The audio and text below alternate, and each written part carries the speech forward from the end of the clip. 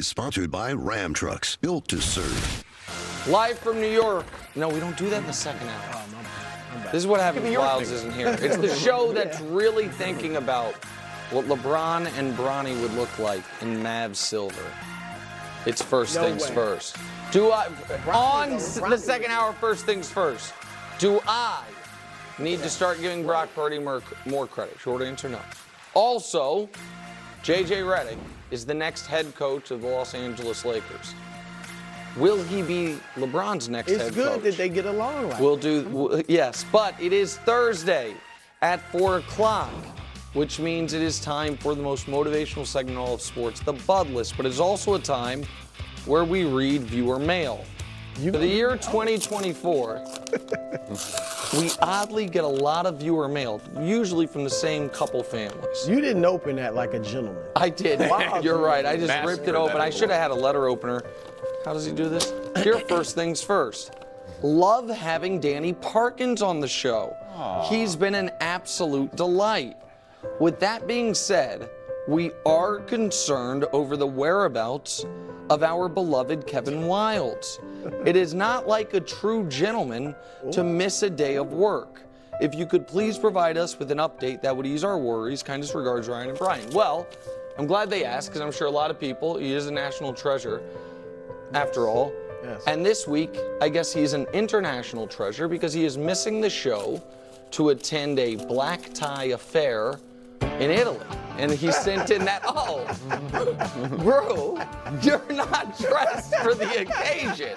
I mean, it's a lovely wedding in Italy, The wild. invite was last Wildes second. looks great. Because uh, I've You showed embraced, you I've were. embraced You Cowboy embrace Brew. Cowboy is Bro. me. Yeah. Okay, all right, bro. Who's, who's under duress? All right, here we go. At number three, Dame Dollar. Wow. Damian Lillard.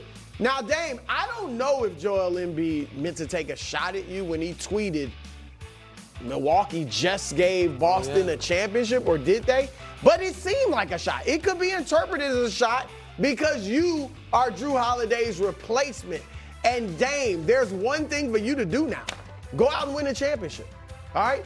Jrue Holiday got his second championship with Boston this year. Jrue Holiday won a championship with essentially the same team you're playing with now three years ago. Giannis was there, Bobby Portis, Brook Lopez, Pat Connaughton. It's essentially the same crew, except you switched in for Jrue. All right, so you got you're you're a top 75 player. You're better than Jrue Holiday. We all agree on that. But you got to go out there and get it done. You got a top three player in Giannis. You've got, for all his warts on his record, Doc Rivers has won a championship. So you got a championship level coach. Dame, I believe in you. Oh. You should be motivated, man. You should have been watching that steaming. And how dare Joel Embiid call you out? Go out there and get it done, Dame Dollar. All right, at number two, Nick, mm-hmm. shout out to you. Trevor Lawrence. What'd he do? Well, let, us just keep it real. You know that's what we do here on the Odd Couple. Even as On I The motivate Couple? you, I motivate. What, you just I call mean, it The wait, Odd first Couple? thing first.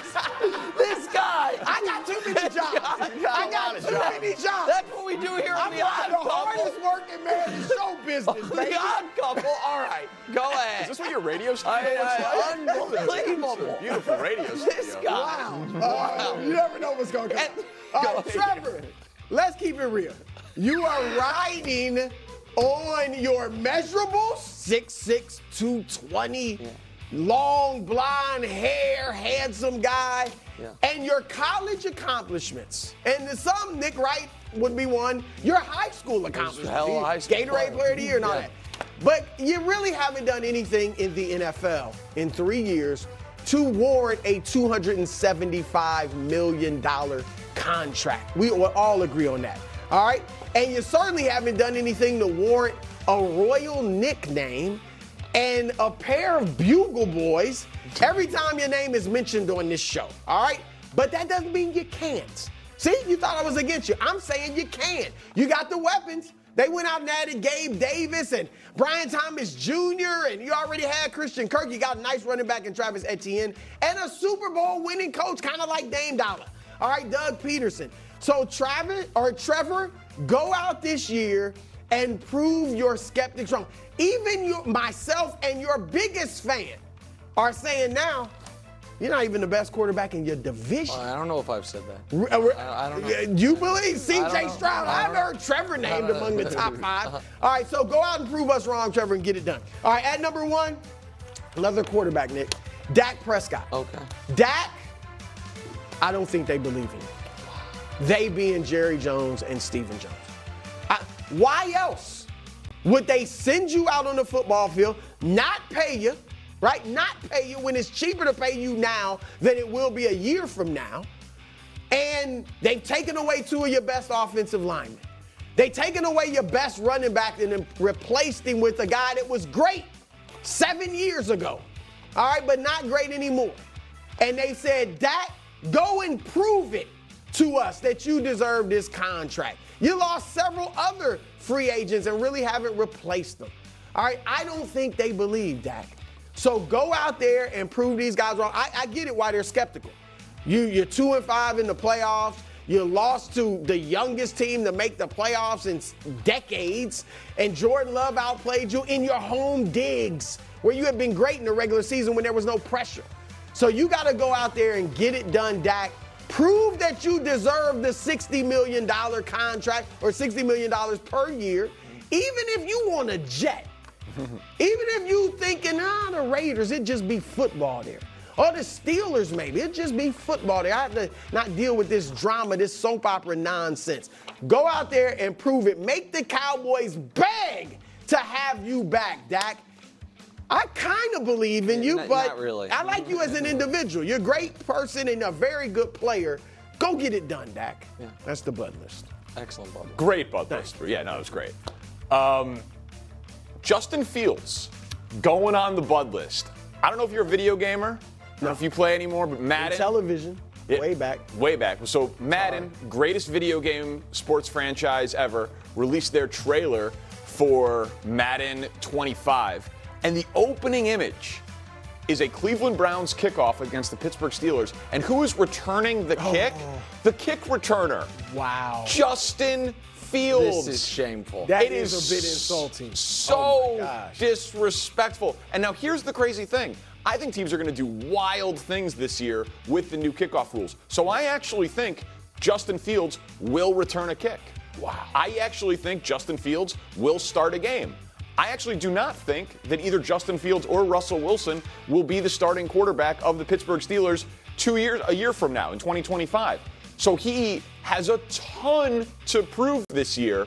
But if this disrespectful trailer, the opening image of the new video game, doesn't give him the inspiration, maybe being placed on the all-powerful Bud list will. No, that, that that's that's fair, Danny. And look, he he does have this is a big season for him. Now the the thing is, if Russ has a bounce back year, we might not see Justin Fields at quarterback. You don't have to worry But if he if he doesn't play well, Nick, this year at quarterback, like this could be the last year until unless he really has a resurrection, a la Geno Smith.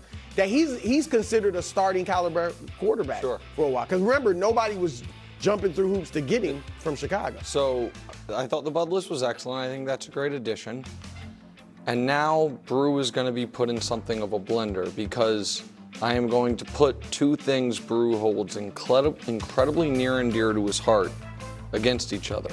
In one hand, you have integrity and honesty, which is about as. You, important to. Brew you, as any human being I've ever met. Thank you. On the other hand, the mythology of Michael Jordan. Mythology? And they are now. it. I saw it well. Or did you? I am putting Michael Jordan's 1988 Defensive Player of the Year award on the Bud list. And you, if you haven't been on the internet I'm today, you might I be no saying, why are you talking about an award from 35 years ago? It would be a fair question. And the answer is because the great Tom Haberstroh just dropped a 6,000 word opus. Says, um, it's fraudulent. Uh, the stats weren't real. Reading from the article, breaking out his numbers into game location, we find Jordan averaged a mind boggling four steals and 2.1 blocks at home. He was- but on the road, Chicago Stadium. those numbers shrunk to a more normal rate of 2.1 steals, 1.2 blocks. Put simply, Jordan's steals and blocks nearly doubled at home compared to the road. So you might say, well, was that common? Does that happen everywhere? Was it about minutes? Was it, is that, well, actually, no. Let's go on reading from the article. Dating back to 1982 83, when the award was established, Jordan's home